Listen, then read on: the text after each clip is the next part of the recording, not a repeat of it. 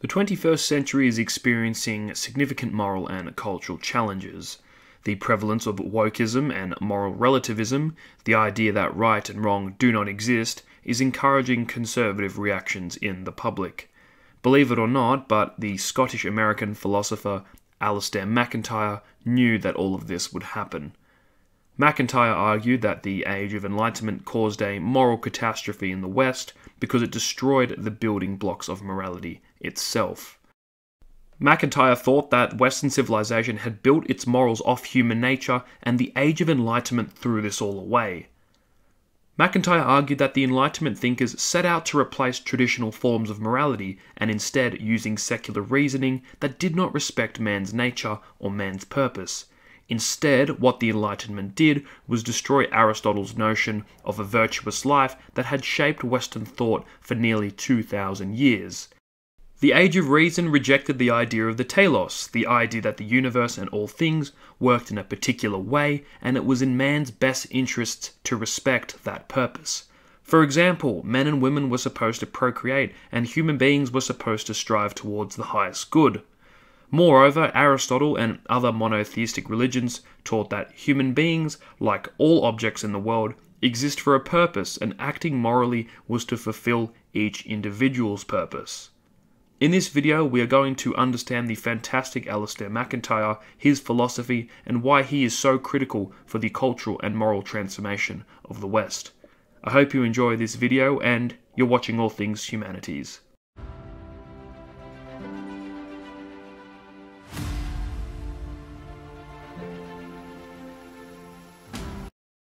Alasdair MacIntyre, born in Glasgow in 1929, began his teaching career in 1951 at the University of Manchester. MacIntyre began his philosophical life in the 1950s as a Marxist, and like many of his generation, he left the Communist Party after the Soviet invasion of Hungary in 1956. MacIntyre was very critical of liberal morality for it was arbitrary and not objective. After holding many academic roles, MacIntyre published his famous work, After Virtue, where he famously criticized the Enlightenment philosophers for their approach to morality. As we have said at the beginning of this video, MacIntyre thought that the approach of the Enlightenment thinkers was always doomed to begin with. He thought that all moral acts must be premised on our own human nature, and if we did not respect this, morality would not make sense and it would lead us to all kinds of moral absurdities. In other words, using human nature and our purpose allowed our morality to become objective and not subjective. One of the examples MacIntyre uses is the abortion issue in the United States. Pro lifers, drawing largely on a particular interpretation of Christian ethics, say that abortion is murder and is morally unacceptable and deserving of legal punishment. However, people that are pro choice usually draw on either a conception of women's rights and assert that women should have the right to make a private decision about terminating a pregnancy and therefore the abortion. In each situation, the conclusions flow logically, but the starting points are incompatible and there is no way to gain everyone's agreement on the reasons. MacIntyre is pointing out that the Enlightenment philosophers have not been using human nature our purpose, and human flourishing as the foundation of moral reasoning. Instead, it is using liberal philosophy, ideas like happiness, as its foundation.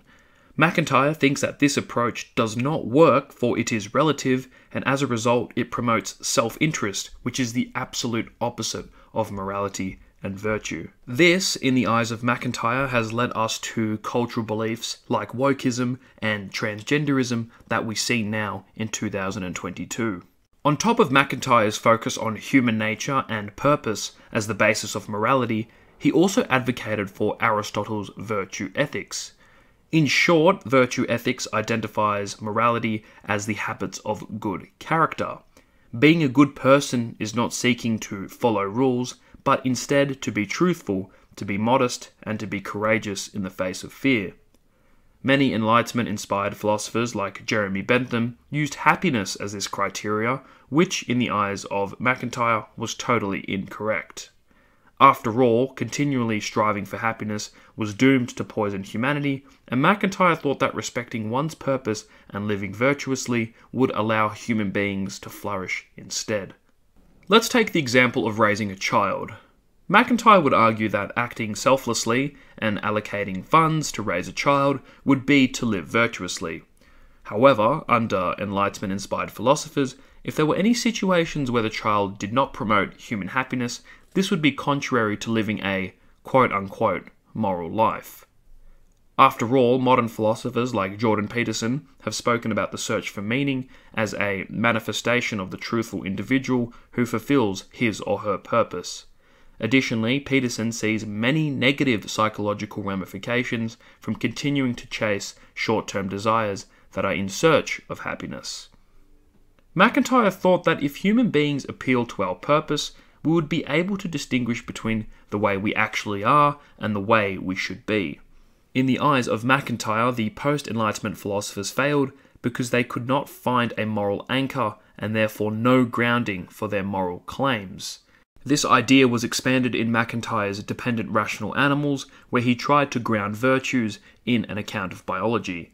This meant that a virtuous life was one where we would respect our own biology and therefore our needs. The failure to respect one's own nature leads to a state of what MacIntyre calls emotivism, meaning that moral claims are nothing more than just the expressions of personal desires. For example, one could argue that drinking alcohol on the lounge and neglecting his or her family is morally justifiable because it suits their own desires. Once again, this is because the post Enlightenment thinkers forgot about human nature, virtue, and the purpose of each individual.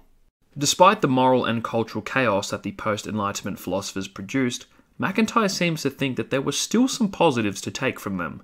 For example, liberal ideas stressed the importance of individual autonomy, which gave rise to feminism and the right of women to vote.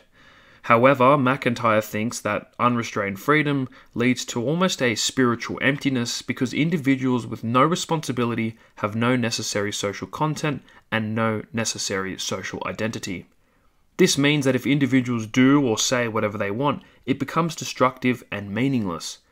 As we've spoken about, it becomes impossible to justify what is good because we have lost the moral foundations of human nature. This also creates an epistemic problem when determining whether claims are true and what is believed to be true. If we do not have human nature and purpose as the grounding for what is right and what is wrong, then it becomes impossible to determine what is truly good and what is believed to be good. If not, moral principles become limitless, self centered, and chaotic, this is how concepts of wokeism are born because claims of injustice and unfairness are endless. The most damaging consequence of the Enlightenment for MacIntyre is the decline of tradition, where an individual's desires are disciplined by virtue. The whole idea of upholding a tradition was for human beings to restrain themselves and appreciate the delicacy of traditional acts. An example would be holding up institutions like marriage or church attendance rather than appealing to human desire and short termism. MacIntyre thought of morality as a type of game. Moral behaviour is like any other practical activity, like playing chess or herding sheep. It was a matter of conforming to the standards of that practice. For example, a player cannot decide for himself what is to play chess well. To be a good chess player, you have to align with the structure of the game, and MacIntyre is saying morality should be treated in the same way. Being a moral person was to abide by the structures of the universe and not to arbitrarily decide what was moral behaviour and what was right and wrong. In the early 1980s, MacIntyre converted to Catholicism after being convinced by the works of Thomas Aquinas.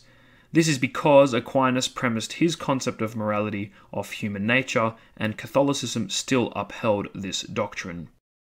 There are some criticisms to be said about MacIntyre.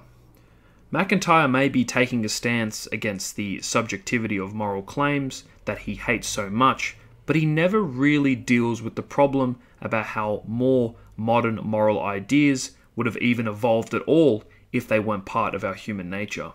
After all, the Aztecs were happy to rip the hearts out of their own slaves and sacrifice them to the gods, and while doing so, were in a state of happiness and joy. In the 21st century, MacIntyre is more important than ever, especially in a society where wokeism and moral relativism is more prevalent than ever. If there's anything to take from MacIntyre, it's that morality and the good is objective, for it must align with our own human nature and our own purpose. Thank you for watching this video. I hope you enjoyed it. If you did, consider subscribing and liking the video. Tell me what you think about MacIntyre. Do you agree with him? Let me know in the comments section below.